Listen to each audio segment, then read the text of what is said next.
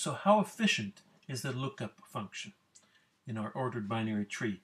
If we have n words in the tree, and each node's subtrees are approximately equal in size, so we say the tree is balanced, then the average lookup time would be proportional to the logarithm of n.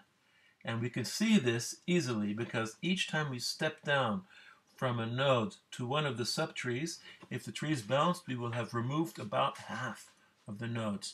So taking k steps down, we have divided the number of nodes we look at by 2 to the k. So this means that the number of nodes that we can remove is exponential in the depth. So this means that the average number of steps you have to take is just a logarithm.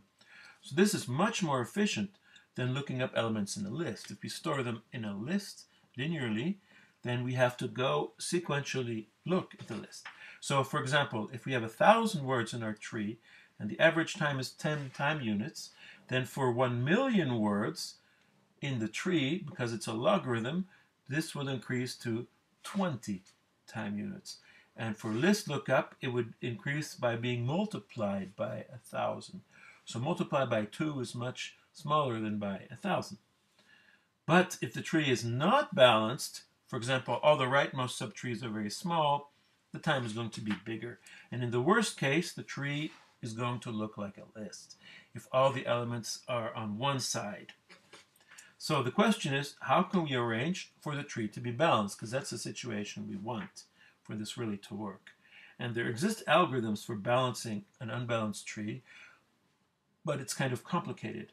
But it turns out that uh, chance on our side. If we insert words randomly, we can show that the tree will be approximately balanced and good enough that we will already achieve the logarithmic time. So that means that our tree data structure is actually pretty good.